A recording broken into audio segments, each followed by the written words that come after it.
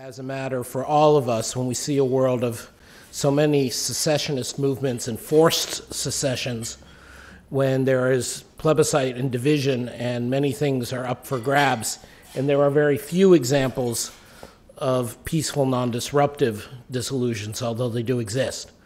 Uh, this is an important issue for us all to think about. So, uh, Jonathan is going to come up and speak, and then we'll have a conversation take questions from the audience. But before Jonathan does, he's provided us with an Academy Award winning short film. Jonathan's film, please. And this is, I'm very jealous the Institute doesn't have this. This is cool. Let it roll.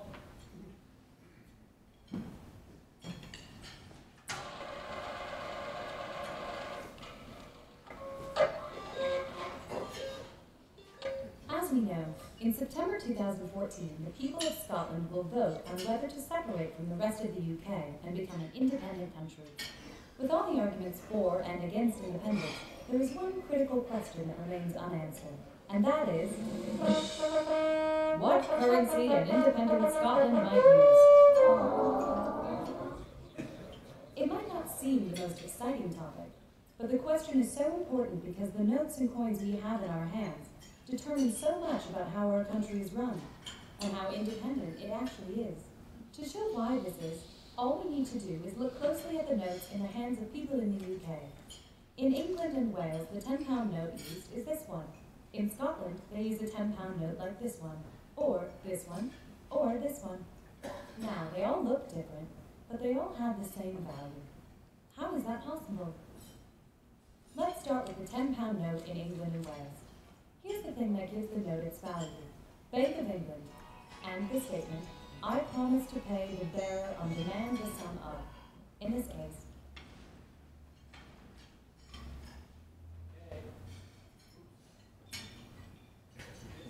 Parents are not up to the technical challenge. Incorrect error.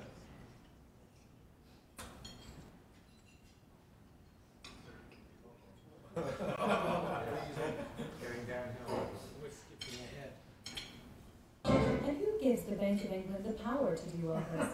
Answer, the government of the United Kingdom, England, Scotland, Wales, and Northern Ireland. It was partly because the UK government wanted to ensure the stability of the financial system that, with the help of the Bank of England, it did this.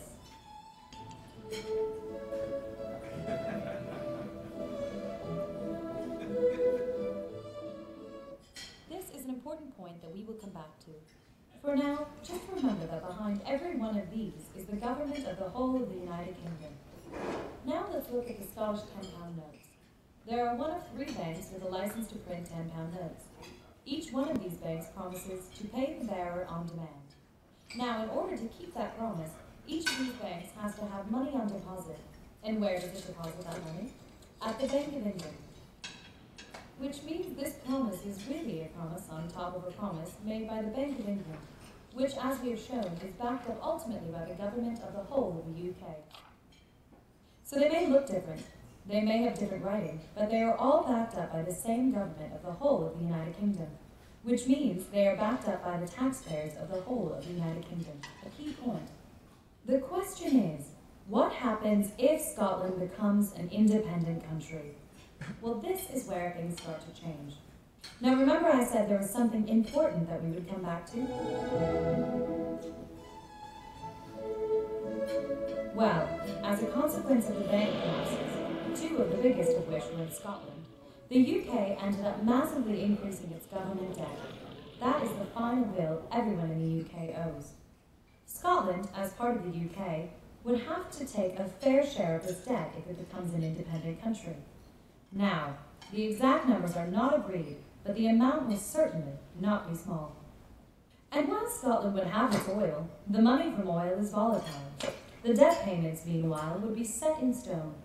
And because an independent Scotland would be a new country, it may face a higher interest rate on its debt than the rate the UK is currently paying. How much debt Scotland ends up with is likely to matter a lot for Scotland's choice of currency option. There are three options being seriously discussed at the moment. Option one Scotland forms a formal currency union with the rest of the UK. In other words, the Westminster government agrees to allow the Holyrood government to keep using the pound, as it currently does at the moment. This means that all money in Scotland continues to be backed up by the Bank of England and ultimately the Westminster government, which, if Scotland becomes an independent country, would be a foreign government with foreign taxpayers. So Scotland would have its interest rates set by the Bank of England, which would be owned and controlled by a foreign government. And Scotland's financial stability support would also be in the hands of the Bank of England and Westminster government. And that means that the Westminster government might be called upon to step in to avoid a repeat of. The Westminster government would have to make sure, however, that the Holyrood government could pay it back for any losses which might arise. And remember that this is a Scottish government that has just taken on a hefty amount of debt. So, as part of the deal, the Westminster government is likely to insist on restrictions on what the Scottish government can tax and spend. In the same way that the We're just getting to the good part.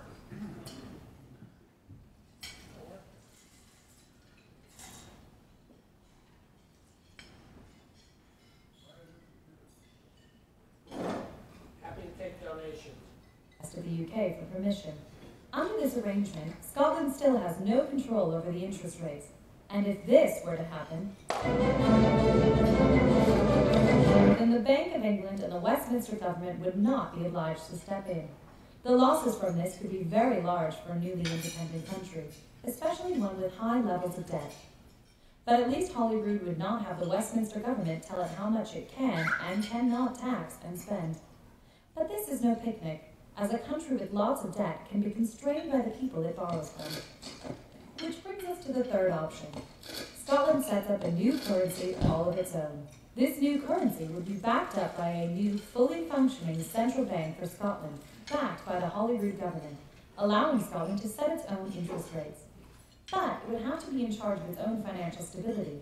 And remember, this is a country that has just taken on a lot of debt. And the Scottish government would have control over what it spends in taxes. But of course, this is subject to how much it can borrow from people. This time, however, there is an added cost that each time Scots travel or trade across the border, they will have to change their currency. But at least, if for some reason things don't go according to plan, the government has other options, such as changing interest rates and allowing the exchange rate to move. So, to recap, on the one hand, Scotland forms a formal currency union with the agreement of the rest of the UK. Crucially, it is not clear how Scotland and the rest of the UK could broker this agreement. Never has such an arrangement between two independent countries been successful over the long term. On the other hand, Scotland forms an informal currency union with the rest of the UK. Note that this is similar to what the Republic of Ireland did for much of the 20th century before it joined the euro, not a period of great economic success. Or on the other, other hand, Scotland forms its own brand new currency. But it is a newly indebted country that has to say, I promise to pay the bearer. And it wouldn't have 300 years of history to build that trust. No option has the upper hand, but these are the main options facing Scotland if it chooses independence. As we have shown, the choice of currency determines so much control over interest rates, financial stability support, and government spending. Which is the best combination that Scotland can afford is closely linked with how much debt Scotland would end up with at independence. Until we know how much debt Scotland would end up with, it isn't clear which option an independent Scotland should take or even could take. And so, Scotland's choice of currency is the big money question that is still waiting for an answer. This video is produced by NIESR with funding from the ESRC. Oh, and by the way, yes, I'm American, and yes, I'm sorry about my accent. But the key thing is, you've got to understand, folks, that this video is from a neutral perspective. No, no. If you want to find out more, check out the NIESR website. But first, let us know what you think. Here's the hashtag to use. Hashtag indyref, hashtag Big Money Too. Um, well, anyway, let's hear it for the American accent. Uh, just, just one factual reminder for those of you who wondered why the euro was not an option for Scotland. Remember, the, the Scotland would have to, if accepted, would have to spend at least two years in the exchange rate mechanism before they could adopt the euro. So that was why that was not in there. There's obviously a lot more to this than the big money question, and there's a lot of who's calling which kettle black. If the Scottish aren't supposed to leave the UK, why shouldn't the UK stay in the EU or things like that? So now I'll turn it to Jonathan.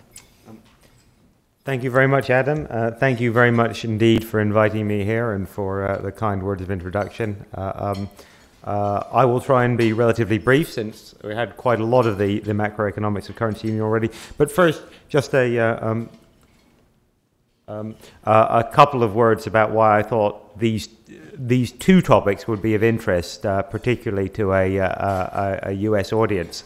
Um, the US has um, and the global economy have enough problems of their own without worrying about the paro- somewhat parochial issues of the UK. So I rather suspected that people here have not yet fully woken up to, uh, after several hundred years of relative stability, just what a period of constitutional instability the UK is going through at the moment.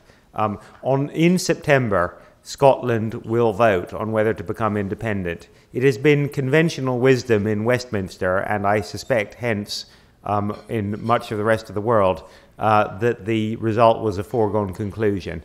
Um, it is not conventional wisdom anymore. Um, the latest poll this weekend showed a majority of uh, 53 47 for Scotland to remain in the UK. Um, and we've got uh, five months of campaigning left. Uh, moreover, uh, given the political developments in the UK, uh, there is every reason to think that things may become even closer. Um, my personal view, but it's not worth very much since I'm not a political scientist, um, is that in the end, Scotland will probably vote to stay in. Uh, but it's going to almost certainly going to be close, um, and the chances that Scotland will vote to leave um, are quite significant. Um, the second part of my talk uh, something which is probably a bit better known here, but again, I think it probably still hasn't fully uh, um, pushed its way up the agenda for people who look at the UK, is uh, the question of whether the UK will leave the European Union.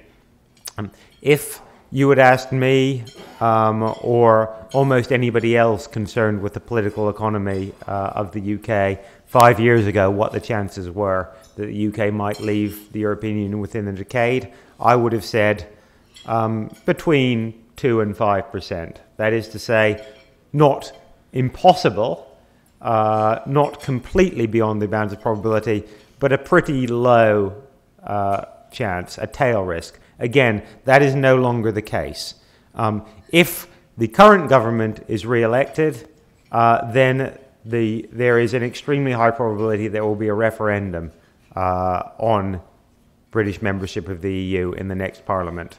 Uh, the probability of that referendum voting for exit, again, I would say, is less than 50%, but not much less than 50%. Equally, if the current government loses, uh, the chances that there will be a referendum are still quite significant, either within the, ne- in the next Parliament or shortly thereafter. So, the chances that the UK will, will leave the European Union within the next three to eight years are not 50%, but not below 20%, perhaps one in three. Um, again, given the profound impact that that will have on the UK, this is, this is something, the, the, degree of instability in the UK's constitutional and hence economic arrangements is something that has certainly not been seen in my lifetime. And I would say not, not since the certainly not since the uh, since the Second World War. So these are pretty big issues for us or for anyone who's interested in, in the future of the UK. Um, and hence, I will start with, uh, with the, the, possibly the, the, single most famous cartoon in British political history. This is the Low cartoon published in The Guardian um, just after the fall of France. Um, and uh, it represents a sort of patriotism uh, combined with insularity that still uh, remains in parts of the British political psyche. So, um, first of all, Scotland. Um, I will be brief about this because I think the video showed up, uh, showed the sort of basic macroeconomic arguments, and I showed it because I wanted to show the sort of work that we try and do at NIESR in terms of translating some of these complicated macroeconomic arguments um, into uh, language and format which is accessible to the people who we hope will be influenced by it, the people who will have to actually vote on whether or not Scotland leaves the, uh, leaves the UK. Now, we're not trying to influence their vote one way or the other, but we do want, think that the public ought to be informed about some of these issues. Um, so, this is work done by my colleagues Angus Armstrong. Uh, who's got a Scottish name but is of mixed background, um, and Monique Ebell, who is German and American um, uh, at NIESR. Uh, and there are, of course, uh, um, there are proper um, academic research uh, published, uh, funded by the, the UK Economic and Social Research Council behind this. Um, but the, the fundamental issues here are really the interaction between um, the quite high levels of public debt, which an independent Scotland would, uh, would inevitably have, um, and the choice of, of currency arrangements. Um, so um, these are on, on fairly generous assumptions. We uh, estimate that uh, Scotland would end up with uh, a public debt of at least, uh, uh, um, in gross terms, 80% of GDP. That's if they get a good deal um, out of whatever the post independence arrangements are, possibly including an idea which Angus has, has suggested, which is that we that Scotland tries to manage the the, prob- the dual problems of a very large public debt and the volatility of its oil revenues by actually uh, accepting a lower than uh, than quote fair unquote share of the oil uh, um, in return for a lower than fair share of the public debt. Um, since that would, in some ways, clearly be optimal for, from the risk point of view for, for an independent Scotland. But even so, even with that sort of deal, given the uh, the decreasing uh, uh oil revenues that that, that Scot- because of the depletion of the North Sea,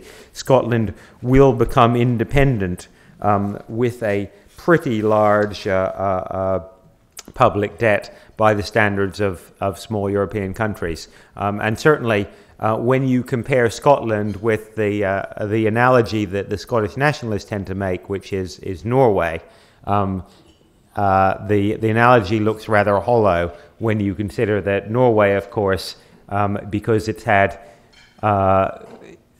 oil revenues roughly equal to that of the UK over the last 30 years, which a much smaller country and a more prudent macroeconomic framework more generally, Norway now has a sovereign wealth fund of about uh, 600 billion, I think, euro or so, uh, uh, and uh, a very low public debt indeed. That is a very, very different financial position for a small petrochemical producing country um, to one to Scotland, which will have a large public debt uh, and rapidly running down oil revenues.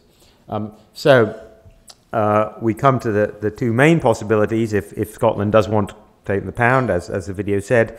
Uh, it can either share the Bank of England uh, with, the, uh, with the rest of the UK, or it can unilaterally choose to dollarize or sterlingize in this case uh, um, and, and use the currency without sharing the central bank. Um, both of those options to us seem to have pretty large downsides. Um, and in particular, um, the, well, the currency union one is fairly obvious. The, the, the point is that you, you lose uh, um, control um, entirely of monetary policy. Um, you lose any seigniorage revenues uh, from the use of the currency, and you simply have to take the currency, uh, the, the, the, the, the monetary position is fixed. It has the upside, of course, that you can do within that constraint, the constraint that you don't have control over monetary policy, um, you can do whatever you want on fiscal policy as long as you can uh, you can finance yourself on the markets.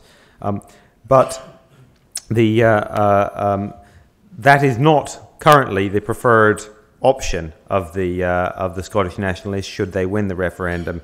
Um, their preferred option is to go for a, uh, a monetary union which they argue could be negotiated with a uh, with uh, with the, the government of the rest of the UK. Um, now, the government of the rest of the UK, George Osborne, is coming here on Friday, and no doubt he'll say it again in some context or other, has stated very clearly, and all the other major parties in the UK have said the same thing, that this option is not on offer. Uh, now, whether this is one gigantic game of chicken or not is, is unclear, and again, uh, uh, I won't get into the politics too much. But from an economic perspective, uh, a Scotland, rest of the UK currency union would be a very new and odd beast indeed. A currency union between a large country and a small uh, and a, a, country about a tenth, tenth the size. Um, uh, a country, a currency union where both of those constituent countries had quite large public debts. Um, in the context of uh, recent events in the rest of the in, in the European Union, uh, um, in particular in the euro area, where we've seen uh, some of the disadvantages of going into a currency union without pretty clear uh, rules and plans for how you deal with the coordination of fiscal policy. Um, and it is, frankly, from a political economy point of view, quite difficult to see how you come up with fiscal policy rules that are actually credible and enforceable um, in a currency union, an asymmetric currency union of the sort that is being proposed by the, uh, the Scottish government.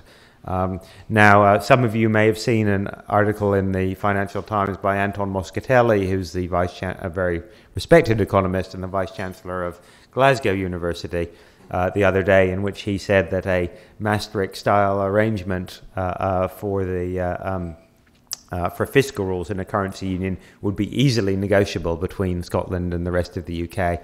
Um, with all respect to Anton, that does not seem to me to be a very credible position. Um, uh, so, uh, simply to, to conclude, um, if Scotland wants to keep the pound, it will cede control over monetary policy. If it wants, on top of that, to have a monetary union, it cedes control over fiscal policy.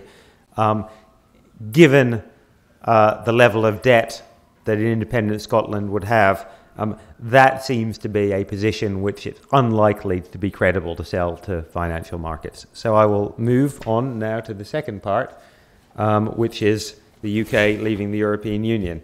Um, and just a, a, few words about some of the issues here. Uh, whether the UK leaves the European Union um, is obviously not just an economic issue, it's a political issue. Uh, there are a lot of issues around democracy, uh, the sovereignty of the UK Parliament versus the uh, the, the the the role the the responsibilities that member states of the European Union accept through their membership of the EU, um, and those uh, political issues which are present in most countries in the EU are, are probably more prominent in the, in the UK than anywhere else. Um, but economics will be central. And the interesting thing, I think, and this reflects the fact that, as I said a few years ago, none of us quote, serious economists thought that this was a realistic possibility. There's been almost no macroeconomic analysis of the impact of the UK leaving the EU uh, in the last 10 years. Uh, the last serious piece of work was done by NIESR, uh, um, my predecessors, about 10 years ago, uh, but things have changed a lot and in particular the degree and the, the, the scope of integration as well as the scale of integration between the UK and the EU have changed quite a lot um, since in, in the last uh, 15 years ago.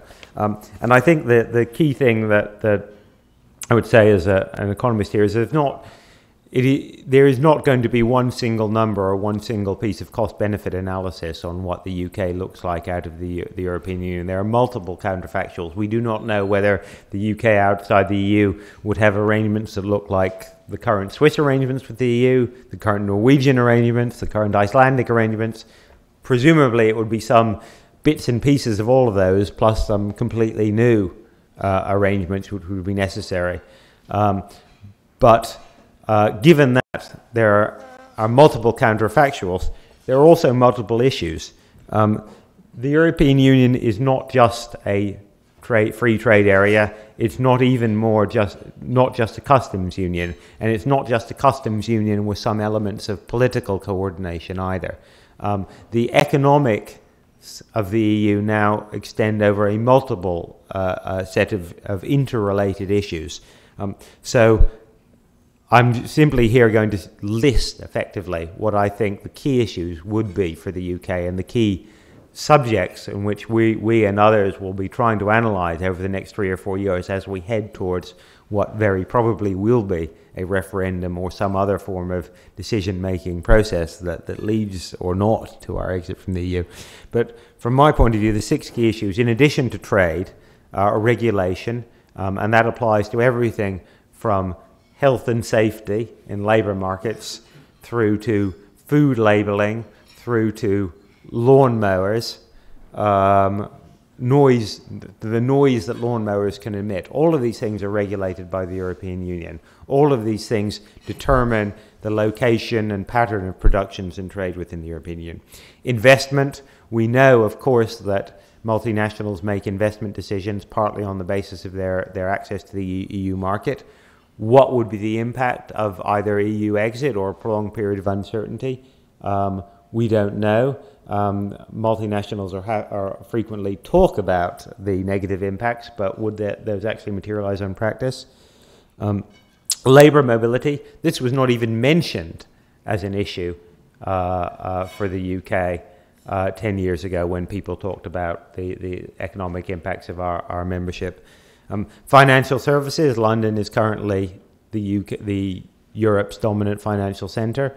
Uh, it is Likely that would continue should we leave, um, but what would be the rules and regulations under which we would continue to be able to have access to the EU single market in finance? We don't know that. Um, and finally, uh, the EU budget and the common agricultural policy. Um, one of the main advantages for the UK of leaving would be, uh, arguably, we would uh, no longer have to make the current quite significant financial contribution we make to the EU, and we no longer be burdened by the uh, Common Agricultural Policy, which is even worse than uh, US agricultural policy. Possibly not quite as bad as Japan's, but uh, still pretty bad. Uh, but even that is not entirely clear. Um, Norway is obliged to some extent to finance the, the CAP as it, as it currently stands. Um, so uh, um, the, the, the range of issues uh, over which this matters uh, um, is, is quite unprecedented. This is not just about uh, the, simple, the relatively simple economics of joining or leaving a free trade area or a currency union. Uh, and just a few charts to illustrate this. It's frequently said in the UK debate that the EU doesn't matter nearly as much because it's a declining, it's declining in, in terms of its size in the world economy and its size in world trade. The future is China and India and so on. Well, there's clearly some force to that argument, but nonetheless, the expansion of the EU means that actually our share of goods trade has not gone down with the EU has not gone down at all over the past 25 years. In fact, it went up in the early 90s and it's been pretty constant since then um, it is still by far our dominant trading partner. And that, there's no prospect that that will change anytime soon. Um, here is the analysis we did 10 years ago of the impact of leaving on investment, on various assumptions, uh, and in turn the impact on output. Um, so we see quite signi- potentially quite significant negative macroeconomic impacts from, from leaving the EU. That's a couple of percent of GDP over five years uh, resulting primarily from the impact on investment and hence on the impact on productivity, since um, uh, production that's financed by FDI, certainly in, in countries that are not at the technological forefront, uh, as, uh, as we're not on everything, uh, tend to see some productivity gains. Um, and then finally, uh, this is a pretty dramatic chart showing the impact of labour mobility in the EU over the last few years. This is the, uh, um, the share of the UK workforce uh, that was born elsewhere in the EU uh, was pretty flat at 2% up until the Poland and the other A8 countries joined in 2004. Since then, it's close to tripled if you run that graph on a bit more, um, and it's still going up. Uh, labour mobility within the EU has had some pretty significant impacts on the, on the UK, and leaving would equally have some pretty significant impacts. So uh, I will conclude there. Um, there is obviously a huge amount of material there, uh, um, both on, on Scotland and on the EU. Um, I emphasise again um, that the uh, uh, uh, the Scottish work is very much work in progress that we're doing in the run up to the referendum. Uh, um, we've done quite a lot already. We'll we will be publishing some more over the next few weeks. Um, the EU exit work, by the by contrast, is something we're just at the very beginning of. Uh, I haven't tried to provide any analysis um, merely to give an overview of the, the, the, complexity and breadth of the issues that we, we and others will be looking at over the next five years. But as I say, if there's one message that I think it's worth going out, it's that the, the, that the, the UK is not the beacon of stability it used to be. It's quite a, a, an unstable and hence quite an exciting time to be doing this sort of political economy work. Thank you very much.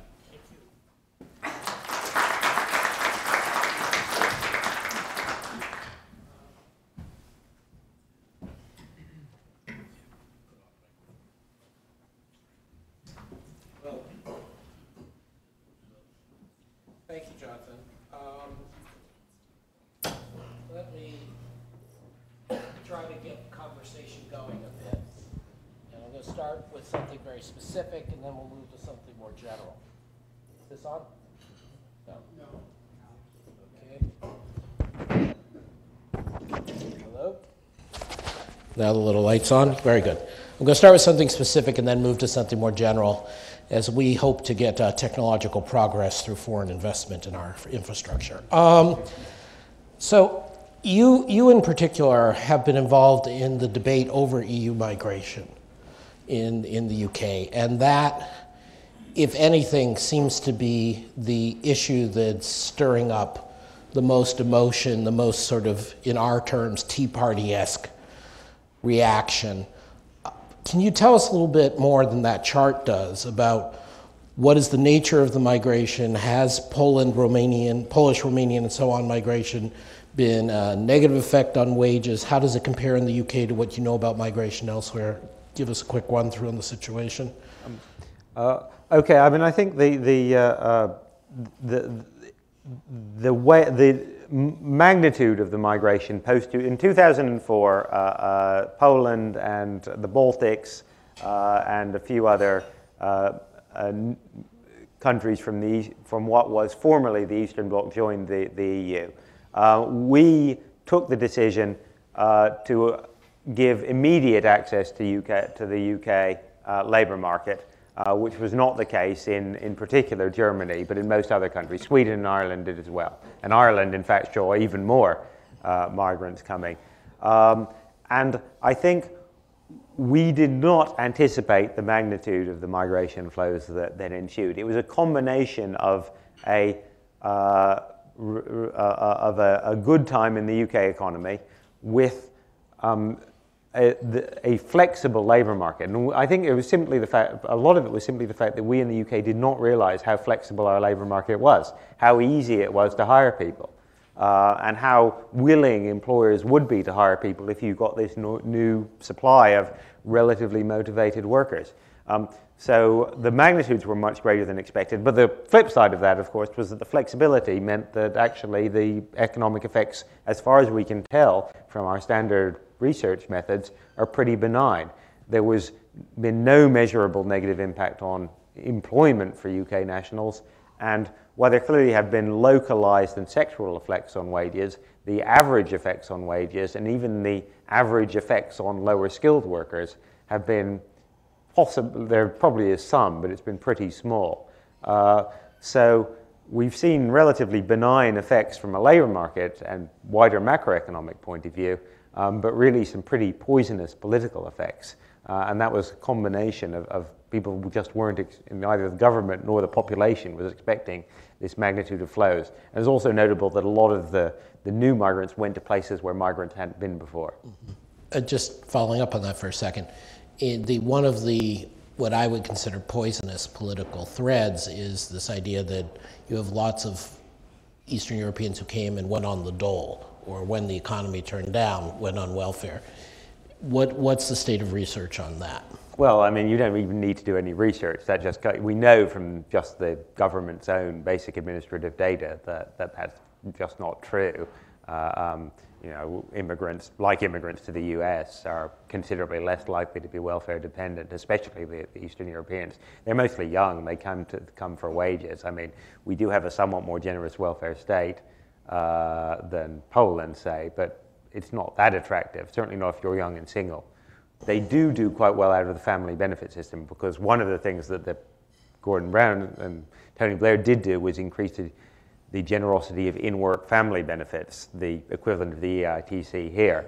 So one of the sort of side effects of young people coming to do relatively low paid work is that once they have kids, they end up doing quite well out of the benefit system. That's not why they come. They're not coming to sponge off the state, but they do end up doing quite well out of it. Um, turning now to Scotland, I mean, what, one of the things that was contrasting is you spoke about the complexity of the EU issues, whereas on the Scottish case, you seem to focus almost solely on the monetary issue. But obviously, there are real side issues there as well. Um, to a first approximation from the outside, and I realize this makes me sound very biased, but it's the reality. I look at the Scottish economy and I see declining oil revenues, very steep downward path, much higher average age and health needs in Scotland than the average person in the rest of the UK. And um, not terribly many growing sectors in Scotland. Is that a fair characterization, or, or is the real side of Scotland have some virtues that Alex Salmond has up his sleeve that we don't know about? Um, well, let, let me try and put the, uh, at least part of the contrary case. Um, so uh, uh, over the, you know, the, one thing that is pretty clear is that since Scotland, since devolution in 1997, um, and since the Scottish government since we, the Scottish Parliament was established and they acquired quite a degree of control over domestic policies like health and education and so on, you know, Scotland's done pretty well. It's outperformed the rest of the UK, and Scotland is no longer could be described as the poor relation. Scotland's GDP is pretty much ident- per capita is pretty much identical to that of the UK's, um, which means, of course, that if you exclude greater, greater London, mm-hmm. Scotland's doing a lot better than the north east and northwest of the UK, or indeed the southwest of the UK. So, and it has some, you know, it has strength in financial services. Now, arguably, that's a big potential downside of independence, right? You know, they do have financial services, but can you continue to have Edinburgh as a financial centre if your government no longer is in a position to back you up? Uh, because as things stand, Scotland's um, you know, the, the ratio of Scotland's financial institutions' balance sheet to GDP would be at the sort of levels that Ireland or even Iceland had pre-crisis. Even, even after the crisis. Yeah. Okay. So uh, um, you know that it's not clear that if you were a bit, you know, if you're a big financial institution, do you think that that's, a, or, or if either if you're a government or a financial institution, does that make sense? There are other things. I mean, so for example, even though oil is declining, it's not going to go away anytime soon. And Scotland has done very well in doing the value added parts of oil, which are internationally marketable. Aberdeen doesn't just service the North Sea, right. it actually is world leading in oil field services. So it, you know, it does have, there has, there, Scotland is not a basket case. Um, and I personally think Scotland could perfectly well be a independent, functioning independent country. Whether it would be, you know, there's some, if it got policies right, uh, but there's some potential big risks, and the currency is certainly part of that. Um, final thing before I open it up to the floor. Um, sort of flipping it around. One of the things about the UK is we are looking at a situation where it is the only large economy in the EU that's outside the euro area and is likely to be after a five to 10 year period, at least my colleague Jacob would say, um, the only economy staying out of the euro. Um, is this a stable equilibrium? I mean, leaving aside whatever the U- UK populace is getting itself upset about at the moment, is, is this a situation that you think is stable? And if, or is Prime Minister Cameron's statement that he's going to negotiate a new bargain, do you think that's a, a credible thing that can be achieved? Um, I mean, on the first, I think this, the simple answer is we don't know. Uh, it depends what happens in the euro area. I mean, if, if the upshot of the aftermath of this crisis is that uh, the euro area goes to much, much more deeper and closer political as well as economic integration, then there's clearly a big question mark. Um, you know, there are clearly, you, you can clearly imagine ways in which the UK can stay outside the, the, the, the euro. Um, you know, it's perfectly possible to have a trade, you know, to have core, you know, common policies across all these areas and still have different currencies. It's, it's perfectly possible. Whether it's possible uh, from an economic perspective or indeed an administrative perspective, is it possible from a political economy perspective? Is that a stable equilibrium politically? That's not clear. Uh, that's the first uh, on the first one. On the second one, um, you know, I think it is pretty clear that that the prime minister's renegotiation strategy is primarily a strategy about uh, um, a sustainable political equilibrium within the Conservative Party up to and beyond, immediately beyond the next election. Uh, how it can be done in practice, I don't think I'm not aware of anyone who thinks that.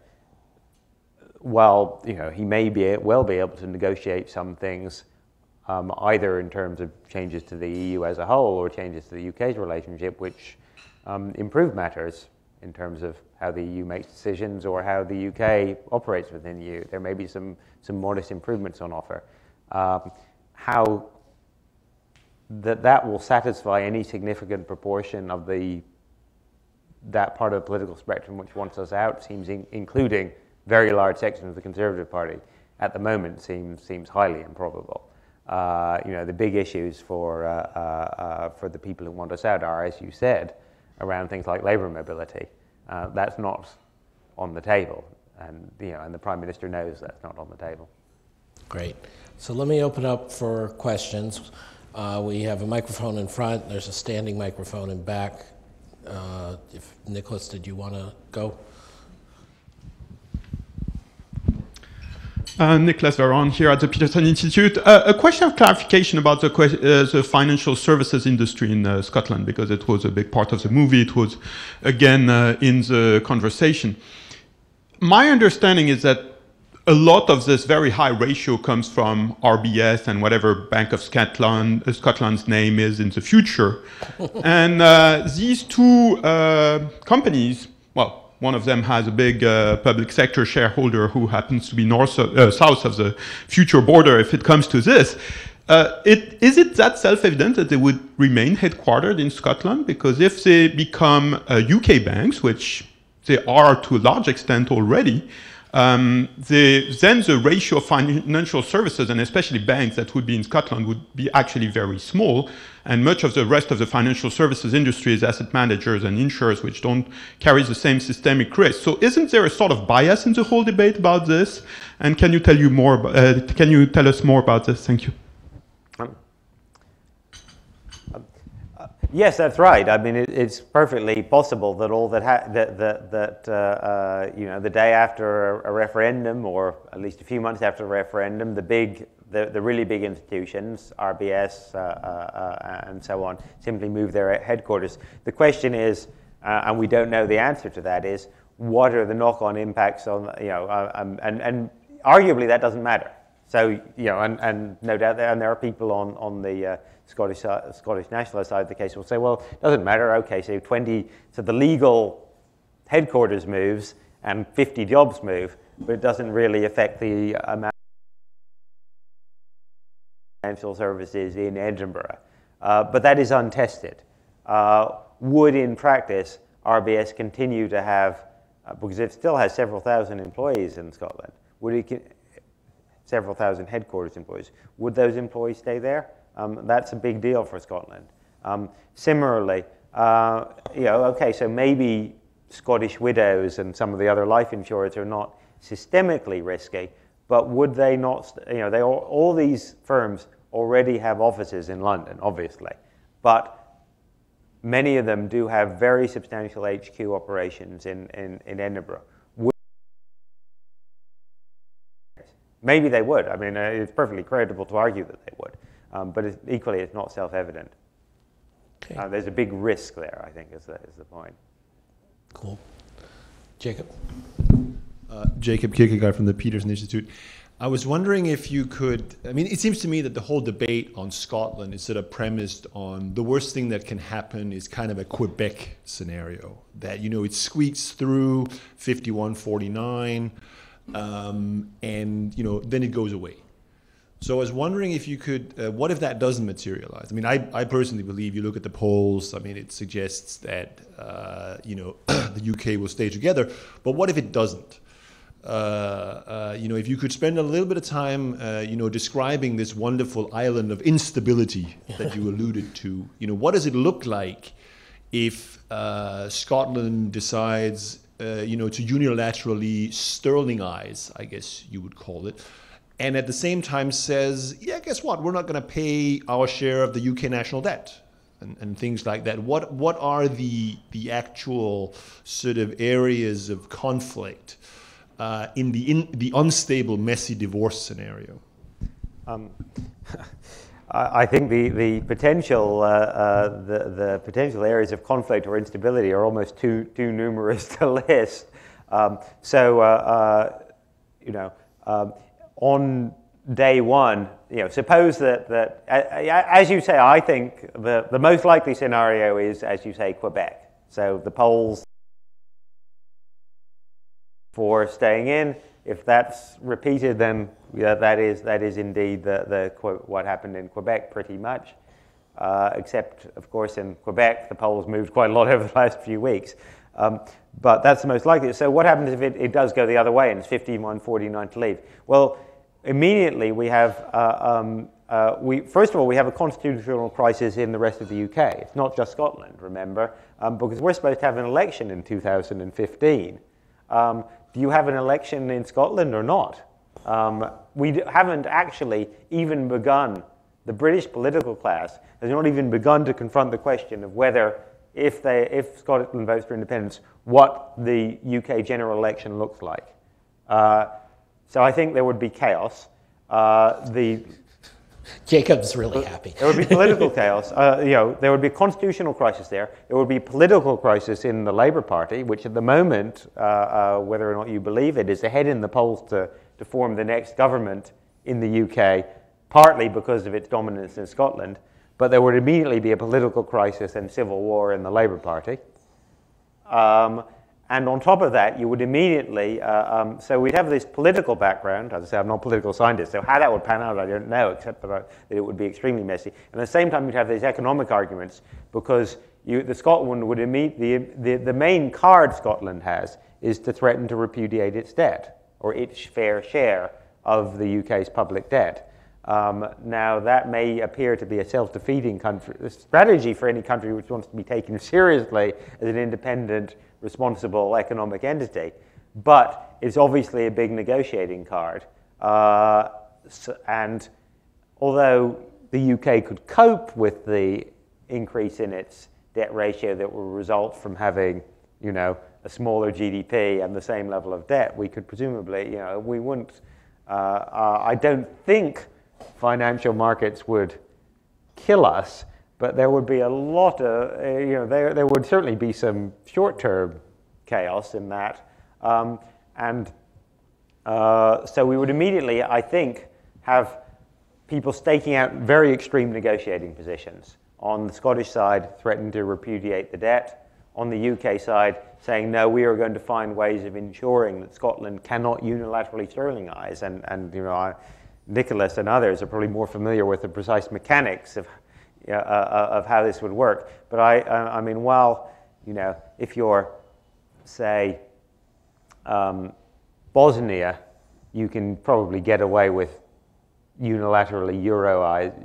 They, they use the Deutschmark still, I think, or some form or another, and no one really cares. And you know, but you know, I assume that say Panama can only continue to use the U.S. dollar me- because it's tacitly Let- tolerated by the U.S. No, financial no. system. Bef- Before Ted does, let me, let me make a comment on this. Yeah. Um, so there, there's two pieces to it. First is, um, Fred Bergsten isn't here, but I'll quote one of his favorite pieces of the IMF articles. At least in, in theory, according to the IMF agreement, you cannot unilaterally peg. The country to which you're pegging has to sign off.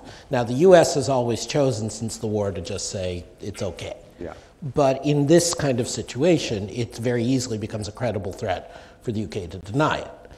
But I think there's a secondary point, which is how much benign neglect versus aggressive neglect Yes. the, the central bank chooses to take on. Now, one of the interesting differences, say, when you had German unification or when you have people entering, exiting the euro, they have geographically based representation on the central bank committee. In the UK case, it's not geographic. It's not like there's a Reserve Bank of Edinburgh and a Reserve Bank of, of Aberystwyth, and you get rid of that Reserve Bank. But so in such a scenario, I could well imagine a, a monetary policy committee of the Bank of England, you know, trying to find a point very early on when there is a divergence in business cycles or issues between rump UK and Scotland and making a point of ignoring what's happening in Scotland just to bring it home. I have Lee, I have Anders, and I guess Ted's moving to the mic as well. So why don't we start with Lee? Oh no, Ted's just getting coffee. Um, okay, very good. Lee Price with the FDIC now. Um, your first part of the talk was talking about currency in Scotland, and then you talked about Britain and, and the EU membership, but you didn't talk about EU membership in Scotland. And that, I was wondering, I can understand why the British government is not talking, making that part of their argument because of their own internal issues. But I would think NIESR ought to be thinking about that, and, and how much has that been a debate within Scotland? Should it be a part of the debate within Scotland in the next five months? Um, um, it has become part of the debate. I mean, uh, again, you know, the Scottish nationalists have, have sort of tried to make the argument, well, you know, we sort of automatically get EU membership because we're part of it now and they wouldn't kick us out and everyone would behave like adults. Uh, that seems, uh, as I was saying in response to, to, Jacob, I think it's highly improbable that everybody would be behaving like adults. And uh, again, one of the threats that the, UK, the rest of the UK has in response to, to Scotland threatening to repudiate the debt is to say, well, we're going to veto your accession or your re-accession or whatever you want to call it uh, to, the, to the European Union. Again, there is a general assumption that Scotland would one way or another remain part of the EU should it vote to become independent. But the legality of that is quite complicated. No, no, I, I think, again, I, I sorry to come in, but I want to go a little bit further. I mean, we had Almunia here a few months ago, Commissioner Almunia, and yeah. I talked with him on sidebar about this a bit and mm. others. I mean, it's a little more negative than that because A, it's not just a question of behaving like adults. There are places like, oh, I don't know, Spain, looking at the Basque country in Catalonia, that doesn't want to give direct credence to the idea you can have easy exit from one country and not leave the EU. So it's not just the UK in a fit of pique. There are other countries, and Spain's just one of them. But secondly, again, it's not tested, but, but my understanding, and again, Jacob or Nicholas may know this better than I do, or Doug, but my understanding is Scotland would have to go through a lot of the hoops that you normally have to go through for EU membership. It's as though ab initio. Now, it would be easier for them than, say, Romania circa 2004.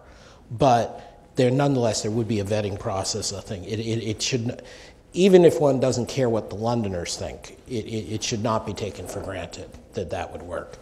Uh, Anders. Yeah, thank you very much. This is a very interesting question. But it appears to me that you need to distinguish very clearly between if a currency union breaks up under stress or under no stress. And if we look upon uh, Europe for the last 100 years or so, we have three cases uh, uh, of each kind uh, that I can think of. So the non, this would be a non-stress case because there's no crisis uh, uh, apparent. Uh, and uh, it's a political decision rather than an economic uh, crisis decision. And the three cases I have for you then is Norway breaking away from Sweden in 1905, worked perfectly well. The Scandinavian Currency Union worked from 1873 and uh, broke up only in 1914 because Sweden devalued. Uh, so that's the currency, full currency union case. And the second case is uh, Czechoslovakia breaking up in uh, 92. And uh, that was a simple peg between the two countries. Uh, Slovakia quickly stamped its uh, uh, currency so that it became national.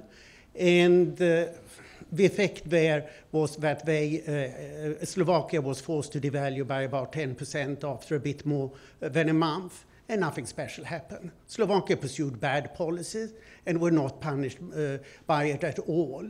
And the third case, as you mentioned, uh, Ireland, when it uh, joined the euro, and no problems whatsoever. So these are the three non-stress cases and suggest that there should not be a major uh, problem. While you have uh, three stress cases, the collapse of the Soviet Union, the collapse of the Habsburg Empire, the collapse of Yugoslavia, which are all disastrous. But that's not the group of uh, incidents that you are discussing. So it appears to me that you are probably a bit too uh, scary uh, in your presentation of it.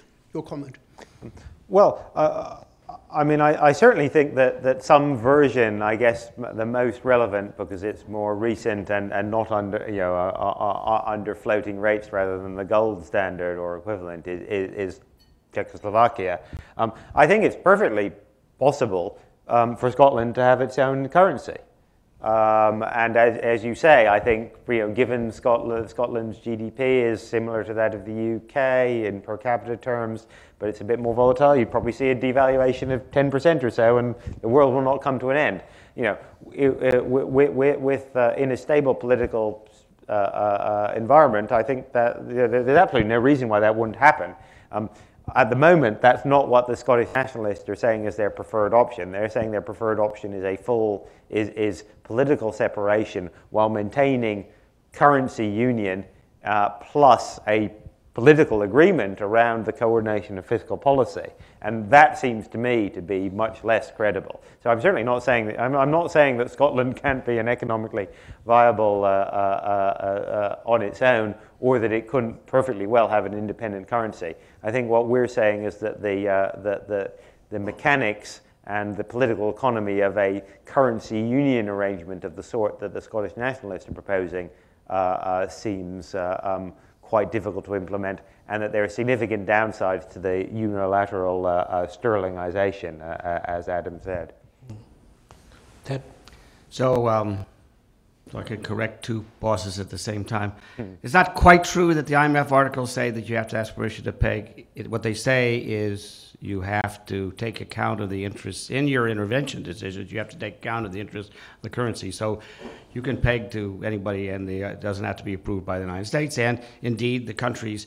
So El Salvador and Ecuador, who have dollarized recently, they did it unilaterally, and the currency. I was involved in one and a half of those cases. Uh, they basically, you know, they currency. There's nothing going on. I mean, and and the United States has been very clear that we don't, as well as with uh, Panama for that matter, that we have no responsibility either in any of the responsibility, no discount rate access, no currency access, no financial stability access, which brings me to my question. So I have a technical question. I'm just interested where the, I mean, all this about fair share. So could you expand a little bit on what your fair share what you, what you mean by fair share, since that's part of the negotiation. In the na- fair share of national debt. Fair share of national debt. Tech, second question aspect of that, uh, well, uh, you talked about migration. There's a question, it seems to me, of migration with respect to Scotland and the UK. I happen to have a close friend who's married to a Brit who lives in Scotland, uh, an American who lives in Brit. So one question would be how you, what you thought about, well, anyways, he's thought about migration one way or the other in terms of across the whatever the Hadrian's Wall. Is that what it is? Uh, and uh, my middle name is Malcolm. Uh, and the last one is how resonant is financial stability in the in your little. Uh, I don't think you know uh, financial stability isn't very resonant in this country, so I would suspect it's not very resonant in Scotland. But maybe maybe you have a different view on that. No, thank you for the correction, Ted. Um, three questions. Uh, uh, fair shares. Well, in some ways, the, the fact that uh, uh, Scotland's GDP per capita is almost identical to that of the UK, um, sort of through coincidence, it, it used to be, um, makes uh, the, a fair share a little bit easier than it otherwise would have been. Uh, because if you divide by GDP, you get pretty much the same result as if you divide by population. And I think the general assumption um, on both sides is that that is sort of the, the starting point. Um, now, of course, there, there's then a, a question about oil, um, and in particular, uh, uh, uh, where you draw the, the line. It's not quite the, uh, the, the Scottish nationalists have their own equivalent of the uh, Chinese seven dash line in the, uh, in the South, is it the seven dash line in the South China Sea? Um, which, uh, which gives them uh, most of the natural resources. So the Scottish nationalists have, have an equivalent. Um, so there would be a negotiation about that. That's on the asset side. Um, then, of course, there are a bunch of other, there, there are lots of, of different wrinkles. So, so for example, you know, uh, parastatals like Network Rail have very large debts. Do you divide that proportionally, or do you say, well, actually, most of the rail, you know, whatever Scotland's share of the rail infrastructure is? What do we do about uh, um, the many embassies we own around the world? There's all sorts of, uh, uh, uh of issues around that. But I think um, the sort of basic, what's the percentage share is pretty much dictated by the population and GDP because they're almost identical. Is there any talk about because RBS and HBOS were uh, Scottish. Scottish headquartered that they should get a disproportionate share or a proportionate share, depending on your point of view, of, of the of the bad debt from the banks, or is that not on the table? That hasn't. Re- I mean, you can imagine that coming up in negotiations. It hasn't really yet. Um, uh, second question was around labor uh, about labor mobility and immigration between Scotland. This is another this is another issue which would be probably quite poisonous uh, uh post independence because uh, um, the Scots um, have made clear that they would want to have a more generous, uh, not a, a, somewhat partly because of the aging and demographic issues that Adam mentioned earlier, that they would want to have a more liberal immigration policy than the UK. Um, and uh, the counterpoint from the UK government has been, well, if obviously if you're an independent country, you can have your own immigration policy, but we have border controls with the rest of Europe. We're not part of Schengen, um, so we would have to have border controls with Scotland. Uh, now, I think that is almost unimaginable to most Scottish and English people, the idea that you would have passport controls at, uh, at Hadrian's Wall. Um, but that is the logical consequence of the two positions of the two parties at the moment.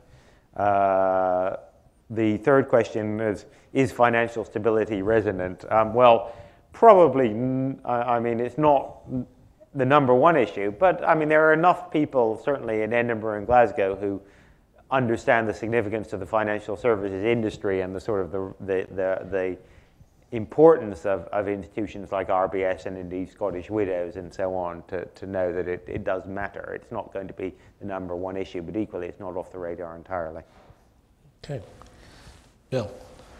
Uh, Bill Cline here at the Institute. Uh, I wonder if you could pursue a little bit more this notion of the link to, Euro, to the euro. I mean, technically, as I understand it, any new uh, member of, the, of their European Union has to sign up to have the euro eventually. So logically, that would imply that Scotland, on the day it becomes independent, would have to sign up to eventually become a member of the euro, unless they got some sort of dispensation. But you alluded to the way you think about uh, UK uh, and, and the European Union as turning on where the euro is going. I mean, the banking union, it turns out, uh, the mutualization of banking union uh, you know, support safety net is only the 1% that's built up from the banks. So that's not really what matters when you get a crisis. What really matters is whether you get essentially a mutualization, which basically implies political union. So my question is, when you think about this and you think 20 years from now, do you see uh, a really robust euro area with quasi-political union, uh, mutualization of debt, uh, implicit uh, lender of last resort, you know, going way beyond just this little 1% that the banks have contributed. And if so, doesn't that mean that the exceptionalism of the UK and the, and the pound is basically inconsistent with it? Um, that is a very good question to which I'm not sure I have uh, uh, uh I have any more answer uh, uh, uh, you know, that, that, than what was implicit in your question. that is certainly one possible scenario, um, and there is certainly a strong argument by saying that, that you know, that where we are now or where we're likely to be in the next three to five years is not a stable equilibrium in the medium to long run. So when you say 20 years is what you're suggesting uh, um, uh, possible and a more stable equilibrium than, than what, the, what the current spatchcock arrangements uh, uh, look like, I think the answer to that is probably yes. Uh, so uh, um, that clearly does place a significant question mark over the UK's, uh, the UK's role. Um, you know, but there are, there, there are lots of other scenarios that could happen.